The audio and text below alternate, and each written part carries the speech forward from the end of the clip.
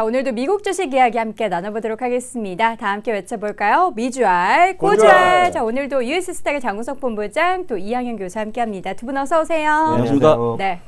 저희가 오늘 이 오후의 투자 플랜 앞선 방송에서 군대 얘기를 했어요. 그래서 안 여쭤볼 수가 없습니다.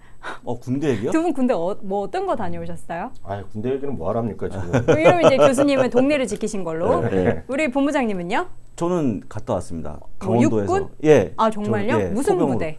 포병으로 포병. 예, 갔다 왔습니다. 예. 포병 그 포탄 나르고 하면 그렇죠, 엄청 예. 힘들다고 들었는데. 예, 엄청 힘들고 무거워서? 그때에 다쳤던 허리가 30년째 지금 아 그래요? 예, 고통을 당하고 있습니다. 국가에서 뭐 이렇게 허리 파스라도 좀 보내줍니까? 보통 이제 알아서 몸을 잘 아, 해야 되는 그런 거죠. 고생하셨구나. 예. 사병들은 뭐 그런 게 별로 없는 걸로. 음. 예. 아마 저, 말, 저 말고도 많은 분들이 그쵸. 고생하지 않았을까 듭니다. 예. 예. 예전엔 더 그랬을 예. 거예요. 이 교수님 네. 동네 지키셨어요? 동네 동네를 지키셨던 우리 이 교수님께서는 그럼 군대에서 추억 같은 거 별로 없으시겠어요? 저는 민간인으로 역할하는 거 좋아하죠. 근데 옛날 쌍팔년도 얘기하는 건 자체를 별로 안 좋아해요. 아니 가장 가장 연배가 높으신 분께서 이런 말씀을 하시니까 네. 왜냐하면 이제 일사후퇴 세때 생각이 하도 많이 나갖고요. 일사후퇴 아니 일사후퇴 때 태어나지도 아, 않으셨는데 근데 수제비 엄청 먹었던 얘기를 하도 많이 들어. 왜 강냉이죽 드셨다고 하시죠 왜? 수제 비란 거가 일사후퇴 때 많이 생겨갖고 많이 들- 드셨다고 얘기해갖고 음. 저는 그래서 수제비를 안 먹어요. 아 정말요? 하도 옛날에 고생했던 생각이 나갖고요. 진짜요? 아, 진짜요. 그래갖고 저는 1990년대 이후 얘기만 하죠. 제 평생 옛날 얘기를 안 음. 아 합니다. 과거에 진짜 그런- 얘기를 안 합니다. 저. 어. 얘기하는 거 별로 안 좋아해요. 아픈 기억뿐이 알겠습니다. 많아요. 알겠습니다. 미래지향적으로 살아야죠. 우리는 과거에 머물지 않고 미래지향적으로 살도록 하겠습니다. 자, 오늘 미주알 고주알 매일매일 다른 주제로 늘 이야기를 하고 있습니다. 월요일 이 시간에는 한 주 동안의 월가를 뜨겁게 달군 이슈 확인해보고 있고요. 화요일에는 미국 주식 알려드림이라는 주제로 기업이나 ETF 분석, 수요일에는 가는 종목 알려드림이라는 주제로 월가의 추천 기업이나 ETF 분석해 봅니다. 목요일에는 우리 시청자분들의 궁금한 점 확인해 보고 있고요. 오늘 이 시간에는 베스트 worst 기업 한 주 동안의 세 종목씩 확인해 보고 있습니다. 자, 오늘도 베스트 worst 세 종목씩 꼽아봤는데요. 어떤 종목인지 먼저 여섯 종목 화면으로 확인해 보시죠. 자, 베스트 종목은요. 액티비전 블리자드 그리고 페이스북 이어서 넷플릭스 보도록 하겠고요. worst 종목으로는 디즈니, 필립 모리스, 제너럴 일렉트릭까지 확인해 보도록 하겠습니다. 자, 지금 뭐 이제 일사후퇴 이야기 하시니까 대체 언제 태어나신 거냐고 예 수제비 맛집 이야기도 하시고 알겠습니다 시금치 안 드시는 분도 계시다고 약간 또 갑자기 시대까지 이야기를 하고 있네요 자 worst 종목부터 보도록 하겠는데 아 디즈니가 계속 worst 쪽에서 있네요 네, 음. 그러니까요. 좀 마음이 아픈 내용입니다. 네. 디즈니가 또 주간적으로 10%가 빠졌고요. 다행스러운 것은 오늘 아침에 끝난 장에서는 약간 올라가는 그런 음. 모습을 보였습니다. 아시는 것처럼 실적이 굉장히 많이 급감하는 모습을 보였고요. 절반 이상 반토막되는 모습이고 그러다 보니까 배당도 지급을 중지했고요. 또 한국 돈으로 거의 8조 원 가량의 채권을 또 발행하는 어. 모습. 자금이 없다는 얘기죠. 어려운 상황을 겪고 있고 다행스러운 것은 상해에 있는 디즈니랜드가 5월 11일 날 재개장한다 아. 그나마 자연스러운 내용이고 어, 제가 보기에는 코로나19의 피해주 중에서 우리가 음. 알고 있는 최고의 기업이 아닌가 생각이 듭니다. 사실 디즈니가 이렇게 주가가 빠질 거라고 누구 생각지 못할 것 같은데 네. 개인적으로 아직까지도 조금 조심해야 될 종목이지만 음. 다시 한번 얘기하지만 그럼에도 불구하고 어, 30년, 50년 장기 보유할 종목은 그쵸. 디즈니밖에 없다라는 말씀도 그럼 드리고 있습니다. 오히려 디즈니 같은 경우는 이렇게 좀 어려울 때 주식을 좀 모아가는 그런 전략도 좋을 것 같아요. 그렇죠. 모아가는 전략은 좋습니다. 네. 한꺼번에 투자하시는 것보다는 그쵸. 어, 지난번 말씀하셨지만 뭐 10%, 20% 음. 담아가는 쪽으로는 좋다고 생각이 들고요. 언젠가는 뭐 재오픈이 될 것이고 음. 다시 한번 시, 어, 실적이 좋아질 거기 때문에 음. 시간은 좀 오래 걸리겠습니다만 어, 다시 한번 좀 관심 있게 보시면 좋을 것 같고 혹시나 또 알겠습니까? 음.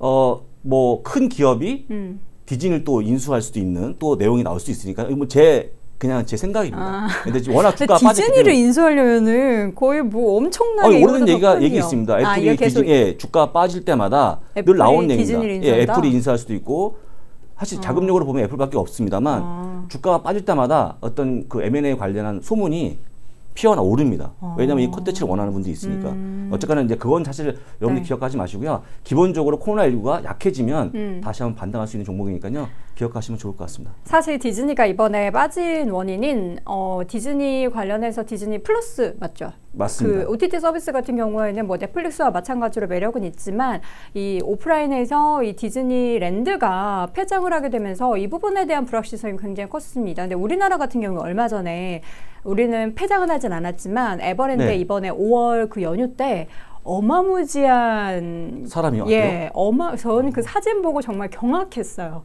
진짜 많았습니까? 엄청 많았다고 합니다. 오. 그래서 네. 그걸 보면은 이제 디즈니랜드도 이렇게 개장을 하게 음. 되면은 그동안 이제 억눌렸던 아이들의 어, 그리고 어머니들이 이렇게 좀 이렇게 풀어놓고 그래 좀 편하지 않겠습니까? 아, 이런. 부분이 예. 좀 있지 않을까라는 예. 그런 생각도 담아 봅니다. 두 번째 종목은 필립 모리스. 이 네. 종목은 왜 worst죠? 아, 기본적으로 이 담배에 대해 상당히 좀 말이 많은데요. 음. 이 담배가 코로나19에 영향이 안 좋다는 분도 있고요. 보고서를 보게 되면 음. 네. 또 어, 코로나19를 약간 막아준다는 또 그런 연구 결과가 있어요. 막아준다는 건 터무니없는데요. 아, 진짜 있습니다. BBC에 나온 기사를 제가 아, 다 담배 못했습니다만 담배를 피우면은 코로나에 코로나19에 강한 어떤 그런 면역력을 심어준다는 얘기도 있어요. 근데 중요한 게 뭐냐면 음. 이 담배가 자체가 안- 문제가 되는 게 아니고 네. 담배를 손으로 피지 않습니까? 그쵸. 발로 필 수는 없잖아요. 아, 제가 얘기가 좀 웃기네. 하여간 손으로 피지 않습니까? 손으로 네. 피다 보면 이 손을 자꾸 자기가 자기도 모르게 얼굴을 얼굴 가까이 예, 만지는 대서. 거죠. 그러면 이렇게 뭔가 도구가 예, 필요하겠네요. 그렇죠. 감염이 되기 때문에, 그러니까 그 문제 때문에 음. 담배에 대한 부분을 얘기하고 있는 거고요. 사실은 그걸 떠나서 큰 틀에서 보게 되면 담배는 아시겠지만 그 갑자기 생각 안 나는데 그 과거 50년대 하이틴 스타가 누구였죠? 그 팀, 그 10대들 우상? 제임스 딘. 예. 그 분 이후에는 담배 흡연율이 계속 감소하고 있기 때문에 아. 사실은 별로 좋지 않습니다. 그러면 왜 계속 주가가 올라갔냐? 담배 값을 올리면서 이런 뭐 부족한 부분을 충당했거든요. 음. 제가 옆에 제가 그림을 가져왔는데 지금 호주가 한 갑당 27달러입니다. 음. 한 갑에 3만 원이죠. 3만 원. 와, 그리고 또 보시면 비싸네요. 음. 영국이 한 2만 원 정도 하고요. 미국이 만 원이 넘어가는 그런 모습이기 때문에 우리나라는 담배값이 좀 싸다도 이 얘기하면 좀 난리 나겠죠.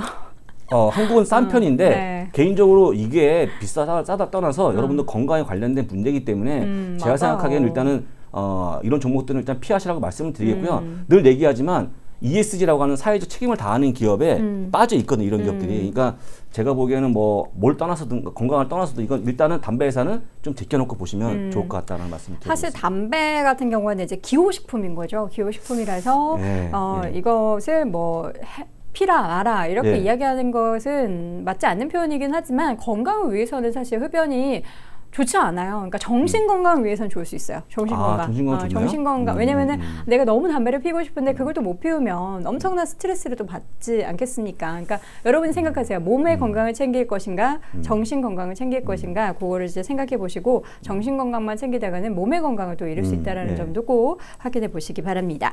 마지막으로 제너럴 일렉트릭 이거는 얼마 전에도 이야기를 했었죠. 예, 맞습니다. 음. 제너럴 일렉트릭은 여러 번 얘기했던 거고요. 네. 이번 주간에도 10% 가까운 하락을 보였는데 특히 항공 엔진이 지금 만들 이유가 없죠. 음. 비행가 뛰지 않고 있는데 그러다 보니까 항공 부분의 매출이 급감하는 그런 모습 보였고요. 직원들을 13,000명을 해고할 수 있는 그런 상황이 됐습니다. 음. 일단 기본적으로 어, 많이 안타까운 그런 부분이고요. 또 무디스에서 신용등급을 부정적으로 제시했고요. 그 다음에 얼마 전에 그 미중 간의 무역 분쟁에 대한 격화가 다시 한번 될 수 있었는데 해외 매출이 또59% 높은 편이기 때문에 여러 가지로 지금 악재가 다 겹치고 있는 그런 모습이기 때문에 다시 한번 얘기하지만 실적도 안 좋은 기업이기 때문에 이게 예, 매수할 만한 이유는 많이 빠진 거 말고는 없거든요. 그러다 보니까 이런 기업들을 좀 빼놓고 보시면 좋을 것 같고요. 오늘 말씀드린 세 종목은 어제 오늘 얘기가 아니고 코로나19가 발생되면서 계속 빠진 종목들이기 때문에 다시 한번 얘기하지만 한꺼번에 들어가기보다는 조금씩 매수하시라고 다시 한번 조언 드려보겠습니다. 알겠습니다. 이렇게 해서 worst 종목 세 가지 확인해 봤고요. 이번에는 이제 베스트 종목 세 가지 이 교수님과 함께 확인해 보도록 하겠습니다. 베스트 종목으로는 사실 우리 시장에서도 그렇고 미국 시장에서도 그렇고 게임주가 늘 들어가요. 네, 맞습니다. 어, 지금 대표적인 소위 얘기하는 집콕주로 분류되는 것이 되겠는데요. 그 중에서도 실적 이번에 발표하면서 나름 깜짝 실적을 발표한 것이 바로 액티비전 블리자드가 되겠는데요. 정확한 수치가 제가 그 디테일이 이 나이 일제시대 출신이지만 기억해서 제가 말씀드리면 주당 순이익이요 예상이 8, 38센트였거든요. 38센트요. 음. 발표가 76센트, 77센트가 나오면서 음. 이거는 깜짝 실적도 아니라 슈퍼 슈퍼 깜짝 실적이 나온 것이 음. 바로 어, 액티비전 블리자드가 되겠고요.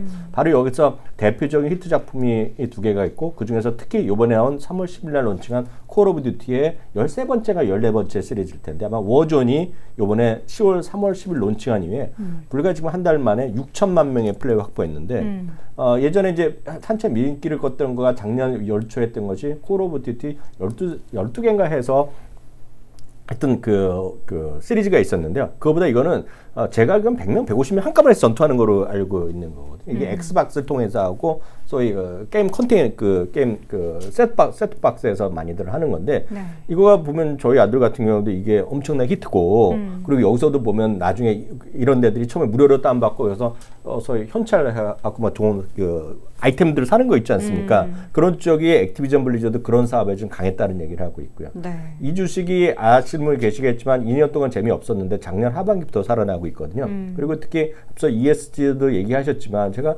지지난주에 한번 얘기해 드린 적이 있는데요. 이 액티비전 CEO가 직원들이 어떠한 어려움이 있더라도 어떤 어려움이 발생하더라도 나한테 24시간 전화하라 그랬잖아요. 음. 그래서 만 명한테 전화번호를 공개했는데 그런 것이 모두 주식시장에서는 그리고 투자자들 사이한테는 음. 상당히 지금 인정받는 그런 부분이다라고 일단 이해하시면 될 것 같네요. 네, 알겠습니다. 게임 관련해서 저는 이 신규 런칭 후에 6천만 명의 플레이어를 확보했다라는 얘기에 정말 입이 벌어졌습니다. 6천만 명이면 대체 어, 어느 정도인지 여기 사진 속에 이 두 분도 굉장히 게임하면서 행복해 보였는데 어쨌든 관련해서 실적으로 또 주가로 보여지고 있는 액티비전 블리자드 확인해 봤고요. 두 번째 기업은 페이스북. 네. 음. 페이스북은 아시다시피 페이스북뿐만 아니라 인스타그램, 왓츠앱, 메신저를 통해서 이 모든 걸 통해서 요즘은 이제 월간 활성화 사용주를 얘기하고 있잖아요. 음. 예전에 이제 작년 초반까지인가요? 페이스북만 했는데 요즘은 인스타, 왓츠앱 다 쓰는데요. 인스타는 아시겠지만 왓츠앱을 모르시는 분을 위해서 말씀드리면 카카오톡의 어떤 카카오톡의 벤치마크 삼았던 것이 바로 왓츠앱입니다. 그래서 왓츠앱이 먼저 나왔고요.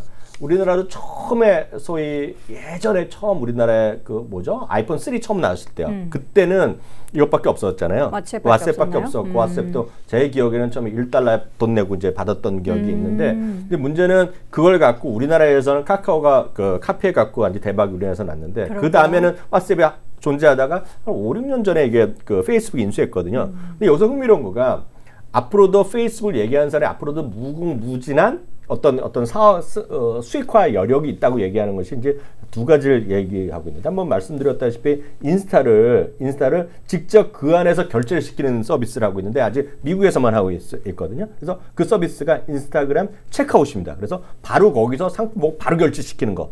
지금은 아시는 분 계시겠지만 각각의 샵으로 보내잖아요. 맞아요. 근데 그게 아니라 미국엔 바로 하는 거가 미국에서만 하고 있는데요. 그게 이제 하나 히트가 될게요. 또 하나가 여러분들 아시다시피 카카오톡이요 수많은 거기서 monetization 사업을 하지 않습니까? 그래서 뭐도 팔고 뭐도 팔고 막 하- 하고 있는데 왓츠앱이 아직 그걸 안 하고 있어요. 이게 무슨 얘기냐면 지금은 그냥 어, 쿨하게 너희들 뭐 널리 쓰라 이런 거죠. 이런 거. 음, 일단 유저를 모아야 되니까요. 아, 유저는 많은데도 지금 안 하고 있는 거예요. 유저는 왜냐하면 영어권을 쓰는 데는 다 쓰고 있거든요. 네. 근데 지금 그냥 나 무료 그냥 그런 수익화 사업을 안 하고 있는데 음. 수익화 사업을 했을 경우에 대박을 아직도 포텐 그러니까 우리나라 말하면 포텐이 열려 있다라고 음. 보셔야 되겠고요. 그런 관점에서 어, 화- 월간 활성화 사용자 수가 처음으로 35억 명까지 늘어났고요. 음. 특히 코로나 기간 중에 다행하겠죠. 왓츠앱 이용률이 50%가 늘어났고요. 음. 엊그저께 보면 줌이 하고 있는 그런 서비스 중에 하나인데요. 네. 그 100명이 동시에 쓸 수 있는 비디오 화상 채팅 이걸 열어놨기 때문에 이런 것도 낮이 포텐이 많다.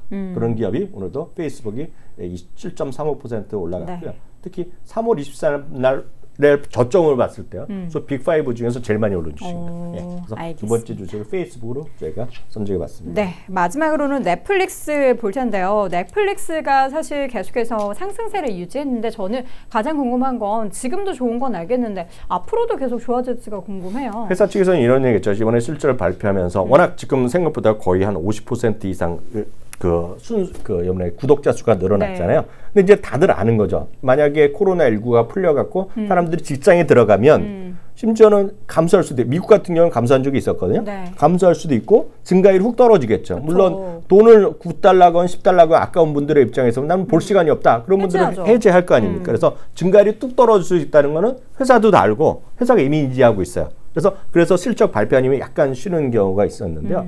음. 중요한 건 이런 거죠. 결국 앞으로의 모든 사업에서 음. 사업이나 앞으로의 성장성에서 결국은 스트리밍 서비스는 앞으로 계속 더 유지될 것 같고요. 네. 극장 사업 단기간에 회복은 되겠죠. 음. 아, 우리나라도 CGV 안 하다가 가니까 사람들이 몰리지 않습니까? 음. 단기간에 가겠지만 장기적인 관점에서 보면 극장보다는 여전히 집에서 보는 스트리밍 서비스에 더 활성화될 거기 때문에 음. 단기적으로는 말씀하신 거에 우려가 있지만 장기적으로는 여전히 매력덩이라고 보셔야 되겠고요. 음. 막 넷플릭스를 보신 분은 느끼시겠지만 자기가 원하는 것을 딱딱딱딱 보여주는 그게 매력이거든요.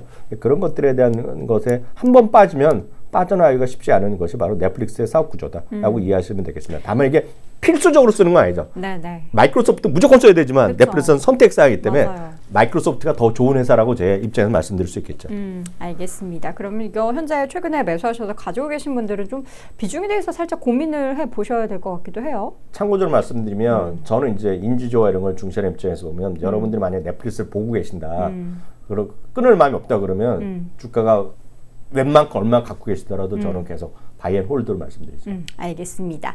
자, 이렇게 해서 오늘도 베스트 worst 한 주 동안에 움직였던 종목들 세 가지씩 확인해 봤습니다. US스탁의 장우석 본부장 또 이양현 교수 함께 했습니다. 두 분 고맙습니다.